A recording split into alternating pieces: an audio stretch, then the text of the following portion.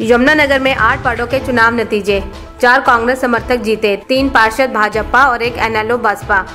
Ward number एक कांग्रेस समर्थक संजय राणा विजय, वार्ड नंबर दो से प्रवीण कुमार भाजपा विजय, वार्ड नंबर तीन से हरमीन कौर कांग्रेस समर्थक विजयी, वार्ड नंबर चार से जविंदर सिंह कांग्रेस समर्थक विजयी, वार्ड नंबर पाँच से विनय काम्बोज कांग्रेस समर्थन विजयी, वार्ड नंबर छह से प्रीति जौहर भाजपा विजयी, वार्ड नंबर सात से राम आसरे भाजपा विजय, वार्ड नंबर आठ से विनोद मारवा एनएलओ भाजपा विजय।